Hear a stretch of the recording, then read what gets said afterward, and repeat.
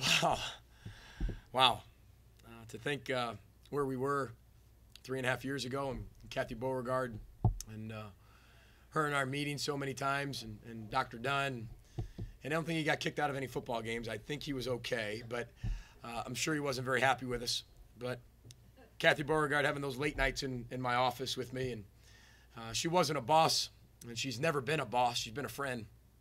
And I remember sitting there telling me after, during, and after year one, this is why we hired you. This is why we hired you. This is why we, we hired your culture.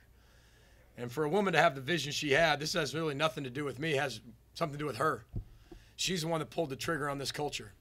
To go from 1 and 11 to 12 and 0, I, don't even know how many teams have ever done that in a three year span. no idea. I'd like to know. Um, what those players accomplished tonight is historical. Um, you had Corey Davis side an all time FBS uh, record in, receiving yards. I mean, the greatest wide receiver of all time in the history of college football statistically is right here in little old Kalamazoo, Michigan. He's not little, though. We had a single season attendance record of 143,000 people. Um, I know that might not sound a lot to Ann Arbor, but that's a lot to us. And I think it showed on the Friday after Thanksgiving raining, cold, sellout crowd. I think it just showed where this program's come when everybody could just watched it on TV. And I think it just shows the connection between a community and a football program and how powerful sports are and what sports can do for a culture and a community and to rally them behind one another.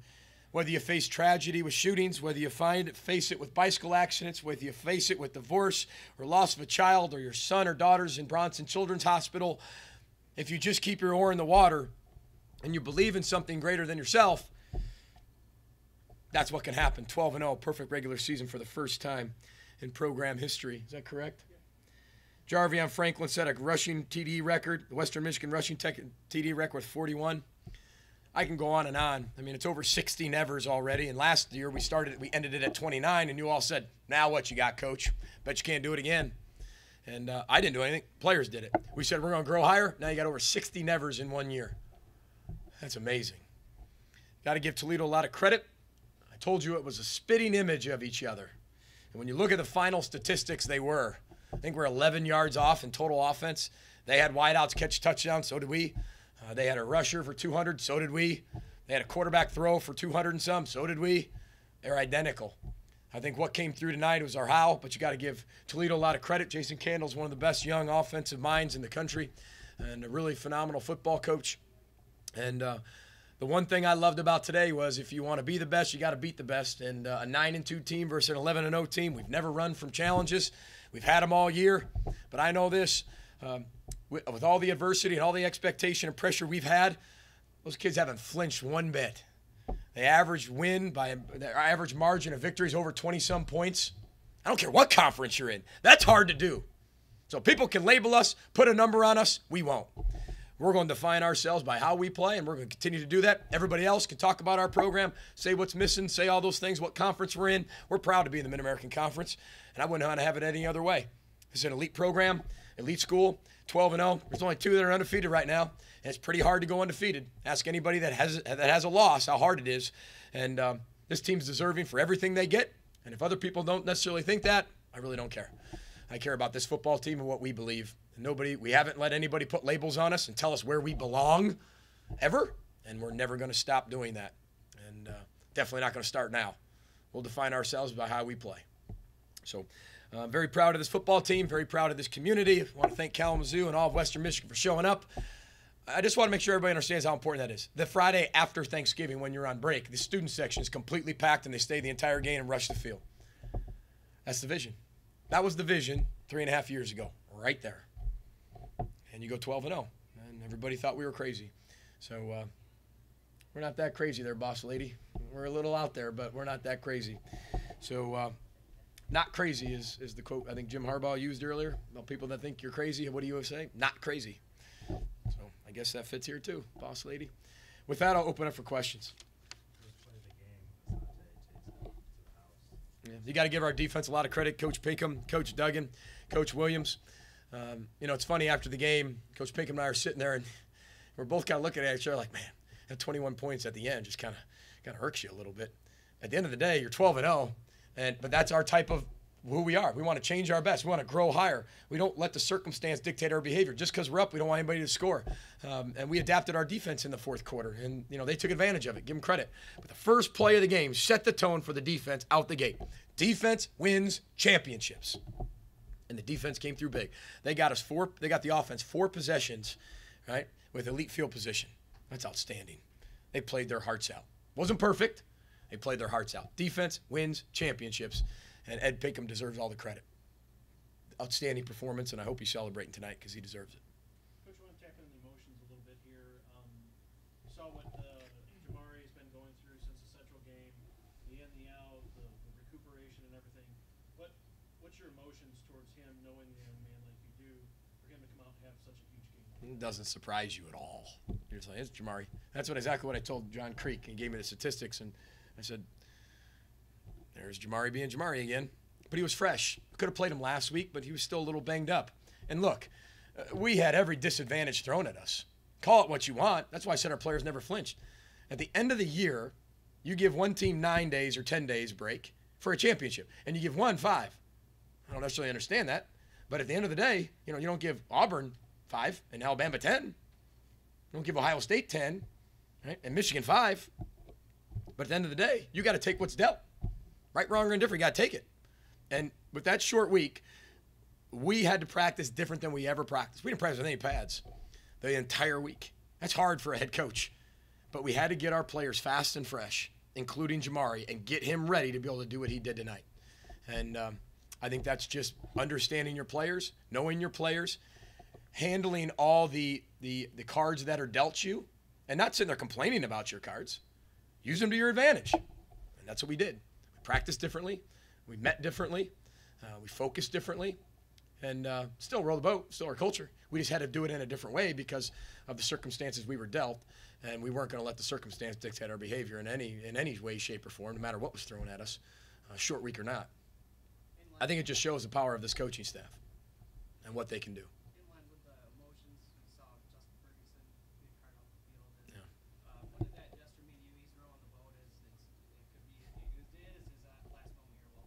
You notice that too, Nick, huh? Um, it was very powerful.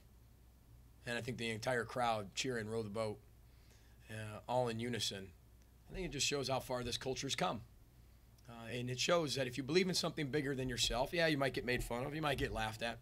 People might sit there and, and snicker, drill holes in your boat, but they can drill all they want at 12 and 0. They, they can drill all they want. And uh, they can say what they want about our program. One thing I know about this program, it's real, and we never have to defend it. We've done that for ourselves. We, we've played the way we need to play with every bit of adversity, every trap game, every this, every that, every this, every that, every what about this? Yeah, but, yeah, but. Look, we're not going to let circumstance dictate our behavior. And Fergie rowing, you know, he's got a son, and uh, that will forever stay in my mind because that's a kid that had to row when he got here. He didn't do all the things right, and he had to grow up, he had to mature. And it's amazing that the definition of maturity here is when doing what you have to do becomes doing what you want to do. There's no perfect example of maturity than Justin Ferguson rowing as he gets carted off the field and how far that young man's come. Forget the football. As, as, as, as a future husband, as a dad now, as a person, that's what this program's here for to serve and give. 12 wins will never define this program or this culture, ever, ever. The type of people, the power of the people will define us. And we have incredible character all over the place. Not perfect, but very real. Very real. It was very, it was very, uh, very emotional. I'll be honest with you. Um, very spiritual, to be honest with you. And uh, it was one of those moments to give you goosebumps.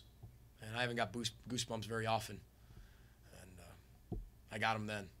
When you, when you were with him down on the field there, I mean, what, what was the injury first of all, and then secondly, what, what, what did you say to him? well, uh, his ankle, uh, and it was it was this way, and uh, you could see it, and our entire team saw it. So the first thing I do is get everybody away. I don't exactly have the strongest stomach, so I couldn't sit there and focus on it. But all I did was look him in his eyes, hold his hand, and just tell him how much he meant to me and how much he's meant to this culture. Uh, and really to be able to use the culture moving forward. Yeah, football might be done for you. So what? Think of all the things you've learned in this culture. You're not going to remember one game. You're going to remember everything you've learned in 15, 20 years when you come back for a game. We're all together. If I'm still alive, Uh, We come back together. You're going to remember all the experiences you had, how you changed as a man, how you grew higher, all the relationships you formed in our community, how you served and gave, and the changes you made. Not that play. You're not going to remember that play. He gave everything he had, every second to this program, and there's no regrets. The pain of discipline versus the pain of regret. He'll never have any regrets in his life. And I was just giving him perspective about him being a father. Uh, the way he responds to this is going to show his son how to respond to things in the future. And um, it was a wonderful teaching moment, I thought, and uh, kept us both off off what was going on. Coach, you mentioned the one in eleven season. It would have been really easy for the players to pack it in, give up on the program, and now they've taken you to a twelve and oh season. How proud are you of the players realistically? I'm very proud of him. This is a wristband from year two, and it's it isn't supposed to be white. It's not. It's dirty. That's how long I've had it on my wrist. But it says WTF, and that stood for worst to first. And uh, if you dream it and you vision it, if you have the right people and you have the right culture, and you have the right process, it'll happen. Eventually, it'll happen. Hard thing about college football is you don't have much time to do things these days. And uh, Kathy Beauregard and Dr. Dunn gave us the required time to do it. And uh, you look back to that, I'm so thankful for 1 and 11. It'll probably be the most memorable year ever in my mind because failing is growth, and we failed more than anybody in the country. But our perspective of failing was way different, and we wouldn't let each other be down. And those who had stayed, we promised you you would be a champion. Now, we're not a full MAC champion yet, but we're a MAC West champion. Those who stay, the 1 and 11 guys, they all get to leave here a champion. A MAC champion, plus a bowl champion from last year. They get to leave as champions. Um, and I'm just glad I didn't lie to them. And uh, it just shows the power of the culture, power of people. Can you talk a little bit about Kareem Hunt? Obviously, he got torn grass tonight, but it looked like he was bouncing off tacklers. He was. and, You, you saw it. He was. And he's so low to the ground. He's so strong. And it's a rivalry type game, right? So when you have that, everybody lifts up their performance. You know, they had a 200 yard back, so do we. Um, but one thing about him is he's a phenomenal human being, first and foremost. And he's a phenomenal running back. He's low to the ground. He's got incredible vision, sets up his blocks well, breaks tackles. I think that's the best thing he's always done. It seems like Kareem Hunt's been here just as long as Zach Terrell, and they really have. He's one of those special running backs. And, uh, you know, I'm just uh, I'm just glad we don't have to play him anymore. I'll be honest with you, because he is tough and he deserves a lot of credit and everything that comes his way, and hopefully a, a next level shot. We know you're saying the ball is the program. You come out last week in the weather, fumbled the ball five times. You got a rain game tonight, fumbled the ball zero times. How much emphasis was on taking care of the ball? On the ball, a lot of emphasis, but we emphasize the ball all the time. It's part of the process. Sometimes you're gonna, it, it, it's there's no magic. We didn't do anything necessarily that different with the ball last week. It was just we fumbled it. We let it go. Um, we learned from our past to create our future. We didn't ignore it. We did more this week. We did a little bit extra. We emphasized it way more than we have, and we emphasize it. Um, but when you look at it, that was the name of the game. And somebody asked me before the game, what do you think the key things are? I said, the ball. And look what happened. How many turnovers? They have two turnovers? I think it was two. Two to zero. Is that correct? Name of the game. Came down to three possessions at the end 55 35, three touchdowns. Two possessions won you the football game. So when you start to looking at the direct correlation to winning, ball's the program. We're number one in the country in turnover margin, and we're 12 and 0. When we were 1 and 11, we were last in the country in turnover margin. And I said that the ball, that's why the ball's the program. Kirk Ciarrocca taught me that. I mean, our offensive coordinator taught me that as a young coach.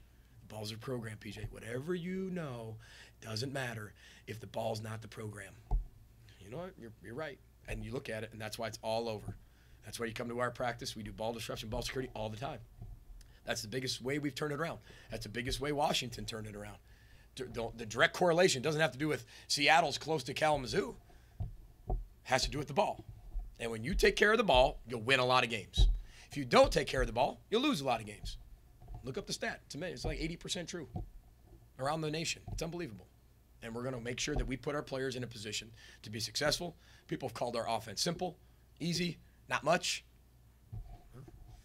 When you outscore your opponent by 20 some points on average, you know, that, that's pretty good offense we take care of the ball, and the defense finds a way to get it back.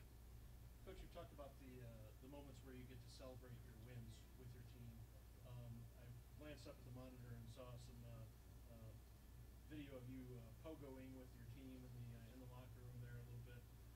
Uh, having the MAC West championship now, I know you've only got a week to prepare for you know, the MAC conference championship, but can you tell me about the release and the enjoyment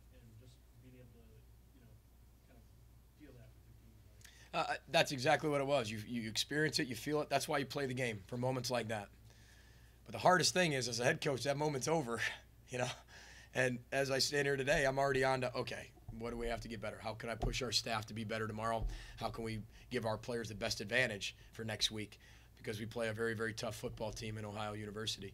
Um, but those are the moments you, you coach for. You know, as hard as this profession is, as tough as this profession is, as draining as this profession is at times, and the amount of pressure and expectation we put upon ourselves as coaches and players, that's where the release comes from. You know, so it's it's it's 80 some hours of pressure and about 45 seconds worth of celebration. Um, but I want our players to enjoy it, and then we're going to move on because that's what this program does. Uh, we celebrate when we celebrate, and we put our oar back in the water, find the front of the boat, point it to the next direction. Everybody get your oars, put them in. Let's embrace our past, you create our future, and row. And then we go somewhere else. Coach, I noticed that uh, in between uh, the third and the fourth quarter, um, you kept up pretty well with Darius in your sprint down the sideline. but These I guys are- also noticed that between the first and the second, you didn't keep up with Corey as well. Yeah, Can you talk about that? I don't know. I'm getting older. I think I turned 36 in a few days. Uh, he definitely, you know, there's a lot of fact. He's got Coach Nichols, speed coach. I mean, I don't, I don't, I don't have access to all those things. You know, I have every excuse known to man. Um, but uh, if I have, if I, there were years ago that I could beat the players down the field, and that was a problem. And now I'm very glad you said I can't beat them because if I can beat them still, Corey, we, we, we, we're not fast enough. We've gotten faster this football team. I'm glad I can't beat them down the field. But that's one thing we've always done. And um, that's just part of our culture. And I want players to understand we're going to be different. We're going to be us, but we don't try to be that. It's just us. You know, I want to make sure they know their head coach is right in there with them. And I'm not just one of those guys, fold your hands and watch. I'm going to be very involved with you and make sure that I hold you accountable for every single play, upholding the culture, including in between quarters. Corey's impact on the field a little bit, but for him and some of the other senior class buying into the culture and kind of embracing it, how big of an impact have they had on? on Yeah, I think if you look back three years ago, I think any culture or any any coaching change is very difficult, um, especially when you have a drastic culture change, and things didn't go necessarily that well prior. It's, it's just part of football. It's hard, and then you have this energetic young guy come in with no experience and put down this vision, and um, you know that's just different. Not better than the last one, just different, and um, and then you have a bunch of guys who don't believe in it. It's okay. And then you got a guy, a bunch of guys who do believe in it. And that's a very difficult transition when you go through that. And it's not even difficult for us. It is, but it's way more difficult for players. And to look at the guys like Michael Henry and, and Carrington Thompson and, and, and Taylor Moton and Zach Terrell, um, there's not many left. Um, but, you know, those who stay will be champions. And, um, you know, even Zach had no idea what row the boat was and why are we rowing a boat and what do we have to do with that. And there's a lot of gut checks. There's a lot of uh, man checks, we call them, to see what you really want in your life. This program is not easy. It's very, very difficult. And every day you have to change your best because everybody wants change until you get it. Um, and everybody wants that happy change. They don't want to put the work in to do it. But when you got to put that work in and you've got to sacrifice, our team wouldn't allow us to lose tonight because of all the things they've sacrificed, all the things they've put in leading up to this. It was, it was worth too much to them. They were going to find a way, and they were led by the seniors. This is the first year, with all due respect, we've had incredible senior leadership across the board, putting themselves aside for everybody else. Starts with Corey Davis. Could have left. Could have left to make millions of dollars. You'd already be in the NFL. Stayed. When it wasn't maybe popular to stay. Eight and five, won our first bowl game. Perfect. Right off into the sunset. No thanks. He came back, and he's getting all the individual accolades. That's not why he came back. He came back to get his degree and to be here for his football team and lead him to a championship, and he did that. And you talk about a vision from a youngster with millions of dollars on the table, and you say, you know what? I'm going to hold off on that for experience, for moments, for memories. That's powerful. That's powerful. When that outweighs the result. Pretty cool. Coach, you've been here for four years, not a long time, but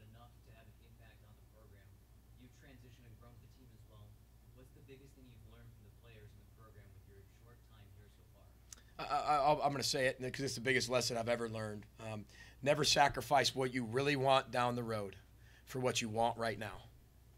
That's the hardest thing for a head coach, especially in 2016, when the pressures, the expectations, the winning, the winning, the winning, the winning, the winning. That's all people want to hear about. To stay true to your process and to believe in a process, not just a result, it's the greatest lesson I've ever learned. And um, these players, I knew it before, but these players made it very real. Made it very real. And never let the circumstance dictate your behavior. And that's something we hold our hat on. And I sound like a broken record, and people think I have all these slayings and slogans. Go back to year one and listen to the press conference. They're the exact same they are now. But we just know them a lot more, and they're part of our DNA now. They're not just sayings and quotes. They actually are our DNA and what we're made of. That's all about becoming a man is when you can become that and truly be real to that special.